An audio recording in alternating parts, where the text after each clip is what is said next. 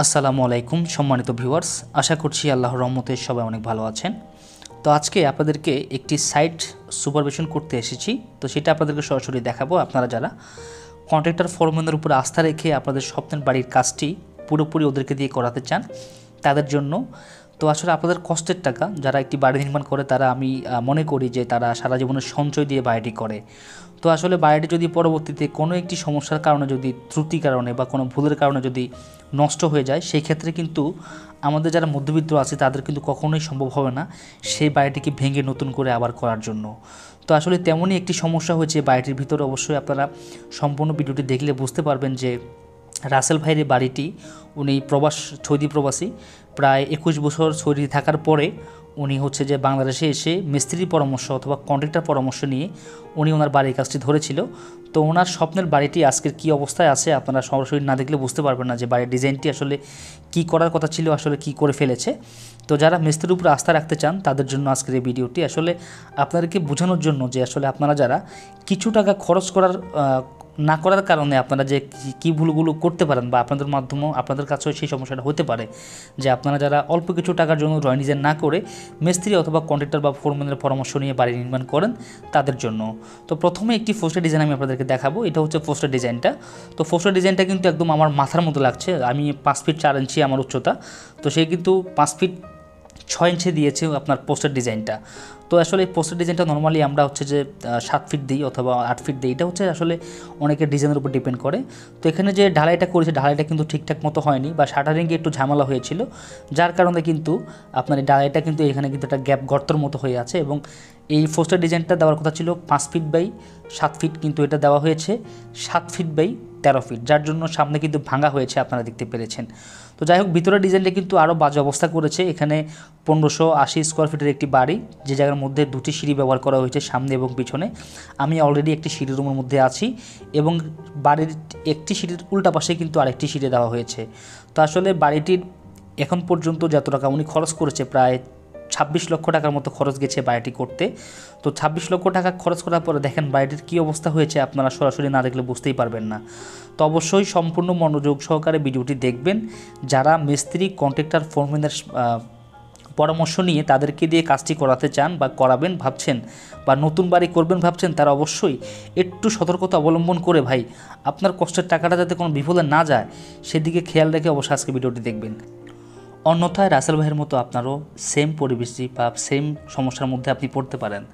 তো দেখেন, এটা হচ্ছে একটি টয়লেট রাখা হয়েছে প্রথমে। তো টয়লেটটি রাখার পরে কিন্তু উনি পরবর্তীতে আবার এটাকে উনি কিচেন করেছে। তো বর্তমান সময় এটি কিচেন আছে। তো দেখেন, বাড়ির ভিতরে আমরা যেটা করি, আমরা প্রথমে হচ্ছে যে ঘাতনির কাজ শেষ করে তারপরে আমরা হচ্ছে ফ্লোর ঢালাই করি। তো এখানে উনি যেটা করেছে, উনি প্রথমে এটাকে টয়লেট করেছিল টয়লেটের সাইজ দিয়েছিল সাত ফিট বাই তিন ফিট তো এখানে সাত ফিট বা তিন ফিট টয়লেটের সাইজ দেওয়ার পরে কিন্তু ওটাকে পরে আবার চেঞ্জ করে উনি এটাকে কিচেন করেছে। তো আসলে নর্মালি কিন্তু বাড়ির ভিতরে প্রবেশ করার পরে রুমের সাথে কিন্তু আমরা কিচেন দিই না। তো দেখেন উনি কিচেনটা যে দিয়েছে এক পাশে ঢালাই করেছে একটু এবং বাকিটা এখানে একটা গ্যাপ রেখেছে। তো আসলে আমরা কিচেনটা দিই হচ্ছে এক পাশে। তো বাড়ির মধ্যে নর্মালি কিচেন হয় একটা।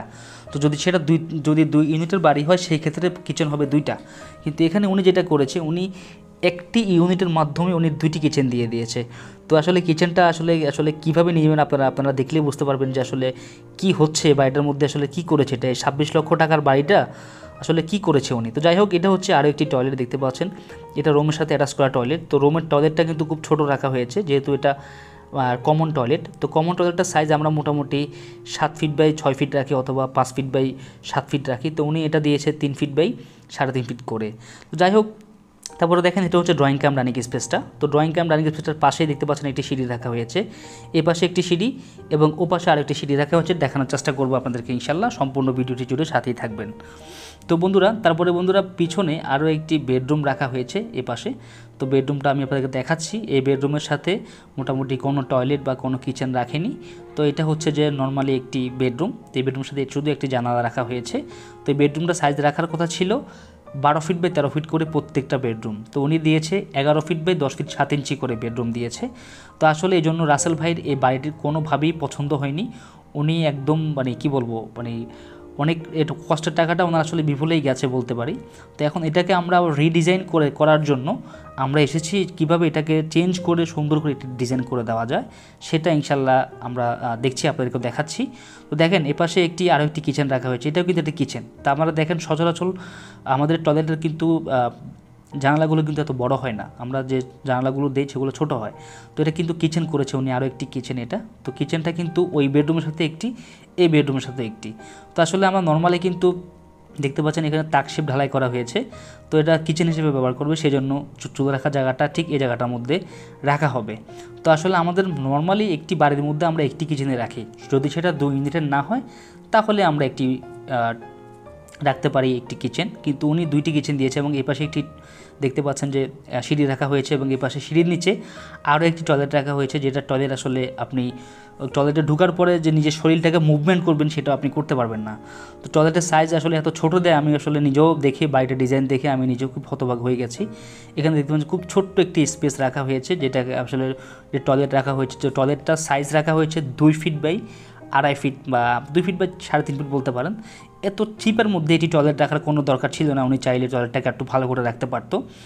তারপরে বন্ধুরা এপাশে দেখতে পাচ্ছেন যে আরও একটি বেডরুম রাখা হয়েছে, যেটা আপনাদেরকে দেখানোর চেষ্টা করব। এটা হচ্ছে আরও একটি বেডরুম তো এই পাশে মোটামুটি একটি ভালো সিস্টেম রাখা হয়েছে, যেমন যেমন আপনার এ পাশে একটি টয়লেট রাখা হয়েছে। ওই দেখতে পাচ্ছেন টয়লেটটার যে সানসেট বা তাক দেখ- দেখতে পাচ্ছেন, খুব ছোট্ট করে দেওয়া হয়েছে। তারপর এই পাশে দেখতে পাচ্ছেন যে এটা হচ্ছে আরও একটি বেডরুম এই বেডরুমটার সাইজ রাখা হচ্ছে বারো ফিট বাই এগারো ফিট করে। তো নর্মালি রাসেল ভাই চেয়েছিল প্রত্যেকটা বেডরুম বারো ফিট বাই তেরো ফিট অথবা বারো ফিট বাই বারো ফিট করে। তো উনি প্রত্যেকটা বেডরুমের মধ্যে এখানে তিনটা বেডরুমই মোটামুটি ছোট করে ফেলেছে বা একটু লম্বা টাইপের করে ফেলেছে। তা আপনারা ভাই কষ্ট টাকা দিয়ে বাড়ি করবেন, অবশ্যই দক্ষ একজন ইঞ্জিনিয়ারের পরামর্শ নিয়ে অথবা কিছু টাকা খরচ করে আপনি একটা ড্রয়িং ডিজাইন করে ফেললেই কিন্তু ড্রয়িং অনুসারে কাজটি করলে আপনার কাজটা নষ্ট হয় না। হ্যাঁ আবার আপনার টাকাটাও নষ্ট হয় না। তো আসলে আপনি যে জায়গার মধ্যে এই যে উনি ছাব্বিশ লাখ টাকা দিয়ে সম্পূর্ণ বাড়িটি করেছে, তো উনি যদি তিরিশ চল্লিশ হাজার টাকা দিয়ে স্বপ্নে মানে সুন্দর করে একটা ড্রয়িং করে ফেলতো, তাহলে কিন্তু ওনার বাড়ির কাজটা আজকে এতটুকু এরকম হতো না।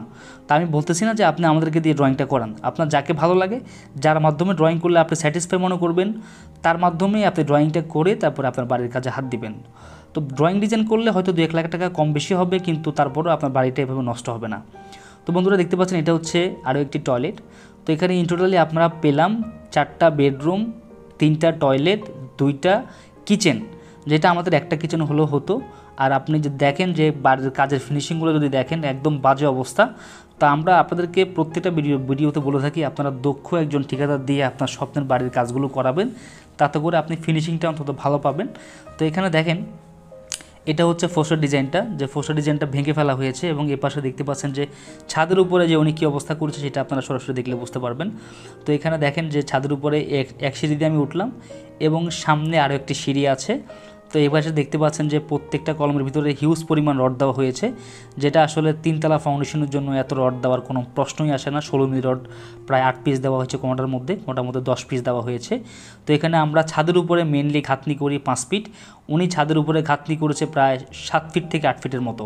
তো যেটা আসলে এবং এখানে রডগুলো যদি আপনারা দেখেন, কোনো কলমে রড একদম এক ফিটের মতো বাড়তি রাখেনি, যেহেতু এটা ফাউন্ডেশনের বাড়ি, অবশ্যই আমরা ফাউন্ডেশন যে রডগুলো বের করে রাখি, সেটা অবশ্যই আমরা মনে করেন যে আপনার দুই ফিট, আড়াই ফিটের মতো বের করে রাখি।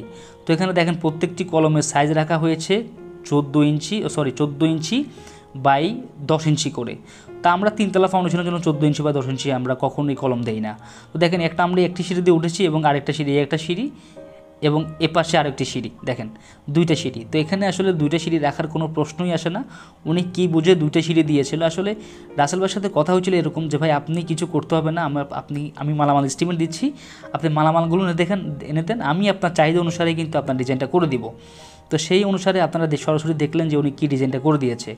তা আসলে আজকের ভিডিওতে আপনাদেরকে দেখানোর জন্য এটাই বোঝ- বোঝানোর চেষ্টা করেছি। আপনারা একটু কষ্ট হলো, একটু ইয়ে হলো, আপনারা চেষ্টা করবেন একটি ইঞ্জিনিয়ার দিয়ে এটা ড্রয়িং করে নিতে।